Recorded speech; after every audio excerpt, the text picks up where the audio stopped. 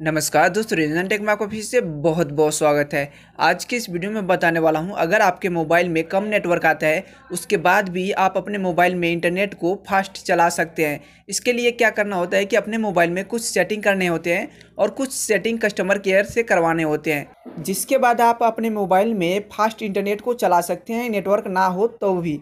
तो दोस्त, आप इस वीडियो को अंत तक देखते रहिए। अगर आपने अभी तक रियोजन टेक चैनल को सब्सक्राइब नहीं किया है तो प्लीज़ आप इस रिजन टेक चैनल को सब्सक्राइब कर दें।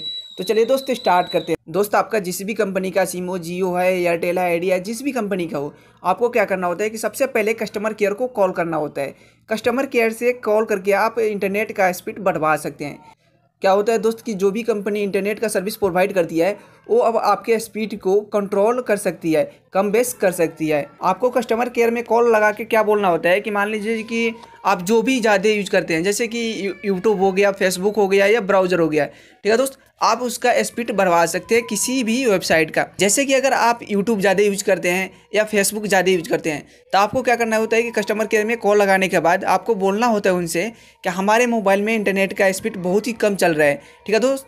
बहुत ही स्लो चल रहा है। हमारे मोबाइल में यूट्यूब और फेसबुक का दोनों का स्पीड बढ़ा दीजिए। ठीक है दोस्त? आपको एक कस्टमर केयर से बोलना होता है। एक कस्टमर केयर वाले क्या करेंगे कि आपके यूट्यूब और फेसबुक का दोनों को रजिस्टर कर देंगे अपने यहाँ से और इनका स्पीड बढ़ा देंगे। जिसके बाद आपके मोबाइल में दोनों चीज़ फास्ट चलेगा। अगर आपके मोबाइल में नेटवर्क थोड़ा भी आता हुआ तो भी ये आपके मोबाइल में बिल्कुल फास्ट चलेगा। ये पहला तरीका था, यहाँ से आप 100 परसेंट स्पीड अपने मोबाइल में बढ़वा सकते हैं। इसके बाद दोस्त, क्या करना होता है कि अपने मोबाइल में कुछ सेटिंग भी करना होता है, जिसके बाद आप अपने मोबाइल में इंटरनेट का स्पीड बढ़ा सकते हैं। तो चलिए दोस्तों, हम अपने मोबाइल के सेटिंग में चलते हैं। सेटिंग में आने के बाद दोस्त, यहाँ पर नेटवर्क और इंटरनेट का ऑप्शन आता है, इस पर हमें क्लिक करना होता है। इसके बाद यहाँ पर जो ऑप्शन आता है मोबाइल नेटवर्क का। दोस्त, क्या होता है कि सारे मोबाइल में कुछ हट के सेटिंग आता है पर सेटिंग जो होता है सेम ही होता है। क्या होता है कि मतलब इधर उधर होता है, आपको अपने मोबाइल में मोबाइल नेटवर्क सेटिंग में आना होता है। किसी भी कंपनी का मोबाइल हो, पर यहाँ पे जो सेटिंग है ना मोबाइल नेटवर्क ये ज़रूर मिलेगा। ठीक है दोस्तों, यहाँ पे मोबाइल नेटवर्क में आने के बाद हमारे मोबाइल में यहाँ पे एडवांस का ऑप्शन दे रखा है। हम एडवांस में आएँगे यहाँ पर, उसके बाद यहाँ पर प्रेफर्ड नेटवर्क टाइप का ऑप्शन आता है। आपके भी मोबाइल में यहाँ पर नेटवर्क टाइप आता होगा, यहाँ पे हमें क्लिक करना होता है। इसके बाद यहाँ पे आपके मोबाइल में auto two G three G four G का आता होगा ऑप्शन एल टी ई का भी ऑप्शन आता होगा। तो यहाँ पे क्या करना होता है कि आपको ऑटो में रखना होता है। Auto two G three G four G पे रखना होता है। यहाँ पे अगर मान लीजिए कि आप टू जी करते हैं या थ्री जी करते हैं या फोर जी सिर्फ़ कनेक्ट करते हैं तो क्या होता है कि जब आपके मोबाइल में सिर्फ़, जब फोर जी नेटवर्क आएगा, तभी जाके आपके फ़ोन में नेट चल पाएगा। नहीं तो नहीं चल पाएगा। मान लीजिए कि अगर आप अपने मोबाइल में ऑटो पे रखते हैं two G three G four G जो भी एल टी ठीक है दोस्तों? वहाँ पे क्या होता है, आपके मोबाइल में जो भी नेटवर्क है two G three G four G है, जो भी नेटवर्क है, आपके फ़ोन में नेट चलेगा। यहाँ पे क्या है कि ऑटो में रखना होता है फोर जी रिकमेंडेड मैंने रखा है, क्योंकि हमारे में यहाँ पे ऑटो का ऑप्शन नहीं आ रहा है। इसके बाद यहाँ पर हमें आना होता है, नीचे आना होता है एक्सेस पॉइंट नेम आता है ए पी एन का सेटिंग आता है, इस पर हमें क्लिक करना होता है। इसके बाद यहाँ पर जिस भी कंपनी का आपका सिम होगा, जैसे कि हमारा आइडिया का है तो यहाँ पे आइडिया कॉलर नेटवर्क आ रहा है। अगर आपका जियो का होगा तो यहाँ पर जियो का नाम आएगा, ठीक है दोस्त? हमें यहाँ पे इस पर क्लिक करना होता है। उसके बाद यहाँ पर हम नीचे आएँगे, नीचे आने के बाद हमें एक सेटिंग मिलेगा यहाँ पर। एपीएन प्रोटोकॉल, ठीक है दोस्त? यहाँ पर एपीएन प्रोटोकॉल पे हमें क्लिक करना होता है। यहाँ पे आता है तीन option, IP version four, IP version six, IP version four या आईपी वर्जन सिक्स।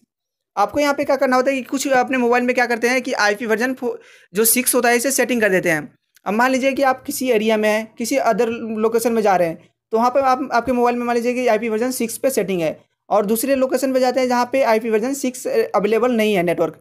जो यहाँ पे प्रोटोकॉल है, वो अवेलेबल नहीं है तो क्या होगा कि आपके मोबाइल में नेटवर्क नहीं आएगा और आपके फ़ोन में नेट नहीं चल पाएगा। तो इसके लिए दोस्त, हमें क्या करना होता है कि आई पी वर्जन फोर या आई पी वर्जन सिक्स पे रखना होता है। मान लीजिए कि अगर आपके एरिया में आई पी वर्जन सिक्स नहीं है तो आई वर्जन फोर भी आएगा तो भी आपके मोबाइल में नेट चलेगा। ठीक है दोस्त, यहाँ पर हमें आई वर्जन फोर या आई पी वर्जन सिक्स रखना होता है। इसके बाद हमें यहाँ पर ऑप्शन आता है A P N roaming protocol इस पर भी हमें क्या करना होता है कि आई पी वर्जन फोर या आई पी वर्जन सिक्स रखना होता है। ठीक है दोस्त ये दोनों हमें सेटिंग करना ही होता है। इसके बाद हम यहाँ पे इसे बैक कर लेंगे और यहाँ पे वो टॉप में यहाँ पे जो थ्री डॉट दिखता है, इस पर हमें यहाँ पे क्लिक करने के बाद यहाँ पे सेव का ऑप्शन आता है। यहाँ पे हमें सेव पे क्लिक कर देना होता है। इसके बाद दोस्त हम यहाँ से बैक कर लेंगे। इसके बाद दोस्त क्या होता है कि जब भी आप रोमिंग में जाते हैं तो वहाँ पे आपको क्या करना होता है कि यहाँ पर जो roaming connect to data service when roaming है, इसको आपको ऑन करना होता है।